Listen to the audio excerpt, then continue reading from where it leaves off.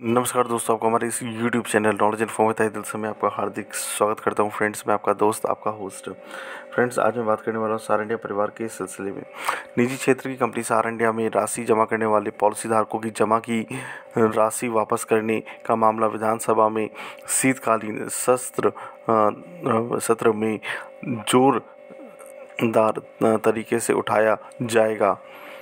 अब बात करें कि यहाँ पे विधायक डॉक्टर लंबोदर महतो ने गुरुवार को हिंदुस्तान के साथ भी बात की थी।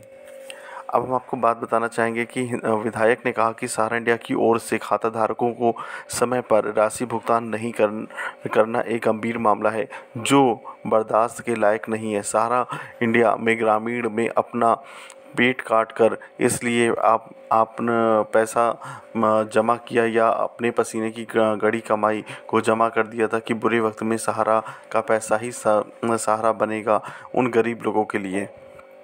लेकिन सहारा इंडिया परिवार में जमा किए गए पैसे नहीं मिलने के कारण निवेश कर, निवेश काफ़ी परेशान हैं और ग्रामीण के समक्ष विकट स्थिति पैदा हो गई है। उन्होंने कहा कि अगर जल्द इस मुद्दे पर कोई कार्रवाई नहीं की गई तो जोरदार लोगों को बहुत ही ज़्यादा परेशानी हो सकती है क्योंकि निवेशकों की जमा की गई राशि का भुगतान होना बहुत ही ज़्यादा ज़रूरी है। बता दें कि केवल पेट रवार स्थिति सार इंडिया में पचास हज़ार से ज़्यादा लोगों ने खाता खुलवाया है।